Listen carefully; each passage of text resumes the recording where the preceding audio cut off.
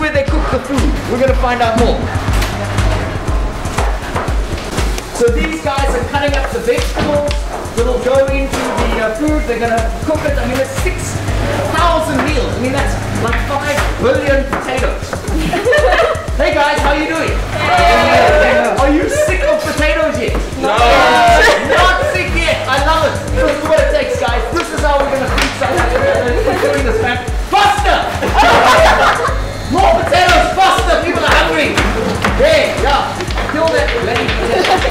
Oh, this is Arno.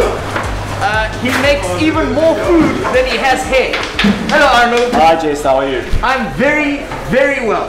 You look like Dorsey, the musician's second cousin. Sure, thank you. I love it. Um, so you are helping, you're running this cooking situation. So, so tell us what it takes. What, how much food are you making? How many people are eating? What's going on? So we're cooking between five and seven and a half thousand meals on a daily basis. It always varies. Today we're doing almost 6,000. Um, this is the prep kitchen, so we prep all the food in here. Then it goes into the next kitchen next door to cook it, and then we sauce it, and then we send it out. 6,000 South Africans are eating because these guys are making food. And tell me, Arno, you, you actually have a restaurant usually, don't you? Yes, yeah, yeah. We do What's that restaurant called? So it's called Janse and Co. in Pure Street. Youngson Co. And lockdown happened and you've been working here since that to feed South Africa. Yes, exactly, exactly. The guys, that's what a hero looks like. Let's go check the food. I'm here with my friend Craig, uh, uh, one of the chefs here. Craig, so what's going on over here? Right, so basically what's going on here, we've got grains in here, barley. Um, in the other ovens is there's potatoes also getting ready for tomorrow. What you guys don't know is that Craig is my dad. Put our heads together, Dad. Oh, there it is. Come on.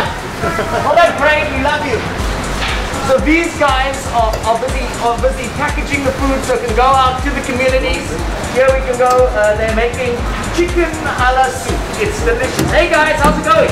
How's it going? Don't stop. Keep going. People are hungry. As I say, they, they make huge amounts of food here, and that, that that's basically a big pot, and they package it in these plastic drums, and that goes faster, faster. Well, they're slowing down because of tapas. Not a reason people must eat. Keep packaging.